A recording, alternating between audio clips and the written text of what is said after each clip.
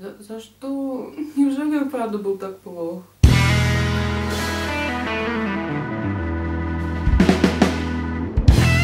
Всем привет, я Даша, сегодня буду рассказывать вам о такой книге Владимира Набокова, как «Дар». А, когда-то давно-давно в детстве, познакомившись с его произведением Лолита, я поставила на писателя крест. На меня она произвела такое впечатление, ну, в общем, я сделала определенные выводы об авторе, надеюсь, что неправильные. Ну, вы понимаете, какие мог сделать вывод эм, ребенок, прочитав Лолиту о человеке, который ее написал. То есть, ну, я надеюсь, что я ошибалась. Ну, как бы то ни было, это на меня повлияло, и я не пожелала продолжить с ним знакомство. И начав читать Такидар, ну, меня просто тут недавно заинтриговали, а, я подумала, что я была в корне не права. У него совершенно волшебный слог, которым можно, можно восхищаться бесконечно. Фразы просто удивительные своей, своим очарованием. Они такие поэтичные и такие прекрасные и чарующие. Я просто не удержалась и стала их выписывать и выписала более 20 штук. К сожалению, где-то на середине книги автор перестал заботиться о, об этих фразах, и как-то я, и я поскучнела, начала зевать, отвлекаться, придумать себе как, какие угодно дела, хотя бы на минуточку, чтобы отвлечься от книги. И, и вот тут мы немножечко обратимся к Стивену Кингу. Если моя память мне не изменяет, он как-то говорил, что в своей книге «Как стать писателем», что а, не надо заботиться о красоте слога, отшлифовывать его до глянца, потому что если сюжет скучен, никому не будет дела для вашего, до вашего слога. А, а если он интересен и захватывающим, то неважно, как вы напишете свою историю. Так вот, как выяснилось, я Набокова читала ради его прекрасного языка.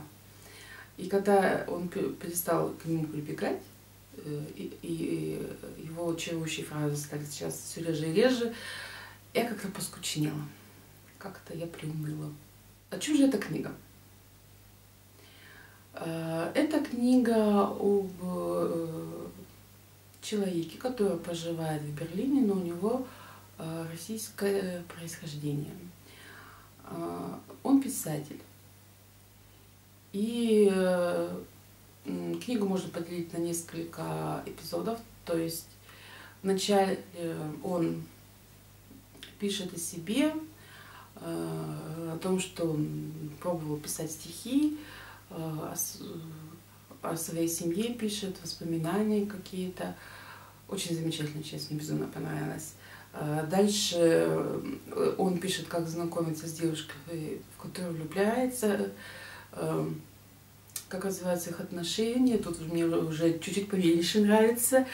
А далее ему приходит в голову написать книгу о Чернышевском.